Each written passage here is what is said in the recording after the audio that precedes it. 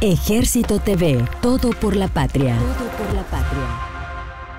El ejército de Nicaragua, consecuente con el lema Somos el pueblo mismo, uniformado trabajando en su propio beneficio, a través del Quinto Comando Militar Regional, en coordinación con el Destacamento Militar Sur, mediante retén militar en el Empalme Las Lajitas, municipio de Juigalpa, departamento de Chontales, el 22 de junio de 2021, retuvo a 23 migrantes ilegales de nacionalidades chilena, haitiana y estadounidense, quienes ingresaron al país de manera ilegal por pasos no habilitados, procedentes de la República de Costa Rica, siendo rechazados hacia el país de procedencia en cumplimiento de la estrategia de Estado, muro de contención, en cumplimiento de las misiones y tareas, todo por la patria, en defensa de la patria y la institución, firmeza y cohesión.